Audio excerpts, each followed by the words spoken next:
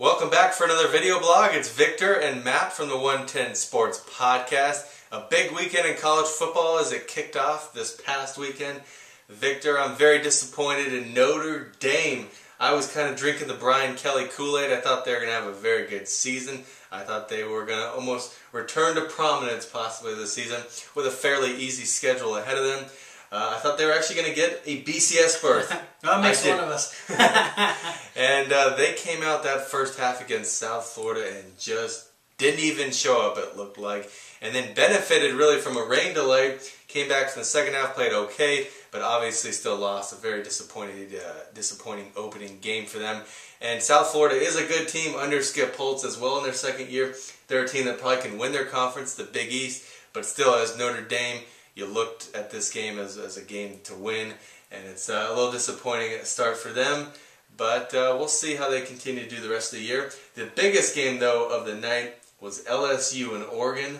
What did you take away from that game? Well, I think LSU is better than most people thought. I think they their speed um, on defense really will uh, cause havoc on teams this year. And the fact that they played without two of their better players that they were looking at uh, to help them this year, I think that can only be a positive when they get back. I think on the other side, the flip side with Oregon, I think you got to kind of look at it. They're Ohio State.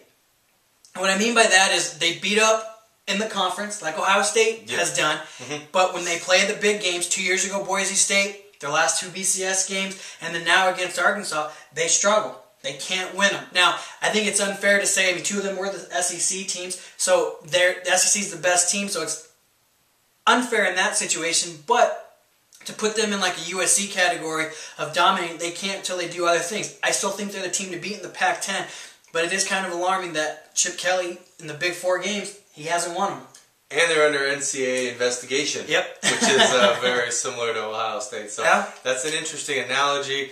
And then you look at Boise State, a team that I'm uh, not really rooting for in a sense, Victor. Me neither. I'm not. I'm not for these BCS busting teams. But they uh, beat Georgia this past weekend. Now they have a pretty clean run, similarly to last season. So they could slip up, but now they have a nice run and have an undefeated season and possibly sneak into that first national championship game. Uh, but Georgia, disappointing. No, really start. disappointing for Georgia. Had Georgia won this game, I think it would have gotten the monkey off, or that gorilla off Mark Richt's back. It's been kind of uh, growing the last few years. I think with the the improvement of the Alabamas, the Arkansas, and the LSU's, that's where the level is, and and Georgia's kind of stayed the same. And I think in some cases, with all that talent in Georgia, Mark Richt has underachieved a little bit. And if he, this loss is bad, and if they continue to struggle three or four games into the season, if they haven't won or they're 500, I wouldn't be surprised if they pull the plug on that.